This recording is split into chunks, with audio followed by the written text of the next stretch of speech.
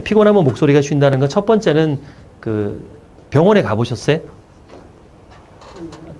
꼭 가보세요. 이비인후과 가셔서 성대를 좀 찍어보면 상태가 나와요. 그래서 이게 정말 피곤해서 그런 건지 아니면 위험, 그러니까 위산이 올라올 수도 있거든요.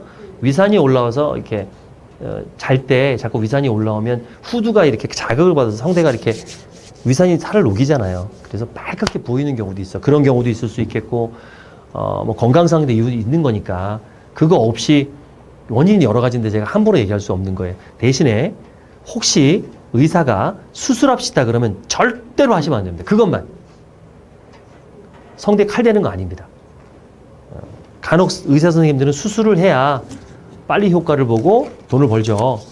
근데 또, 또 다칩니다. 그래서 절대 수술은 안 되고요. 척추도 그래요, 척추도. 제가 지금 디스크지만 안 아픈 디스크지만 절대 수술하면 안 됩니다. 근육으로 버텨야 되듯이 근육으로 훈련할 수 있어요. 그 원인을 알면 그때 이제 훈련이 됩니다. 아 이게 성대가 만약에 피곤하고 그런 거라면 그 원인 치료하면서 성대를 강화할 수 있는 그 허밍 기법이 있어요. 아침에 일어났을 때 음, 음, 해보세요. 음, 음, 음, 음, 음, 물 드시고, 음, 음, 음, 막 콧노래 부르세요. 음, 음, 음, 음, 음, 음, 음, 이게 아침에 오픈데 굉장히 좋아요. 무리하지 않고요. 성대를 가볍게 마사지 하거든요, 허밍이. 그리고 속삭이는 거는요. 성대를 이렇게 비비는 소리예요. 이거 되게 안 좋은 거예요. 그래서 내가 목이 아파서 살살 얘기할게. 이거 성대 베리는 겁니다. 속삭이면 안 돼요. 그래서 내가 살살 얘기할게. 성대를 이렇게 진동해야 돼요. 내가 목이 아프니까 살살 얘기할게. 허밍하듯이 음, 음, 음. 요 정도, 요 정도. 음. 그럼 목이 풀려요. 아침 일어나자마자 큰 소리 하면 절대 안 되고요. 두 시간 이내 안 됩니다. 물 많이 드시고요. 미지근한 물, 찬물 안 됩니다. 뜨거운 물 안 돼요. 미지근한 물 많이 드시고 촉촉하게 해주시고 또 어, 상태가 그러니까 좀 덥더라도 어, 당분간은 마사지 효과로 수건을 이렇게 두르고 주무시거나 또 요즘은 상관없겠다. 어, 습하니까 어, 나중에 건조하다면 가습기 드시고 이렇게 습도 관리 하시는 거 중요합니다. 음.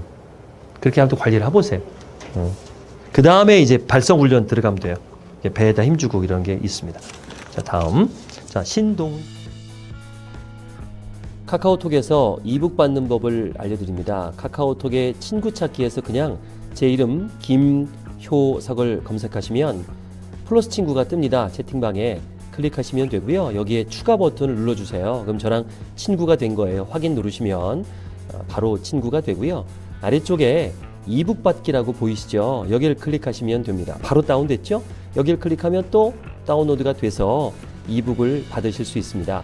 아, 이거는 화면상에 보이는 거니까 또 다운로드를 한번 더 눌러주세요. 내 휴대폰에 들어와 있습니다. OBM 설정 마케팅 80페이지 오프닝 부분까지만인데요. 도움이 되실 겁니다. 앞으로 저랑 친구 되셨으니까 다양한 강좌나 또 자료들 보내드리겠습니다.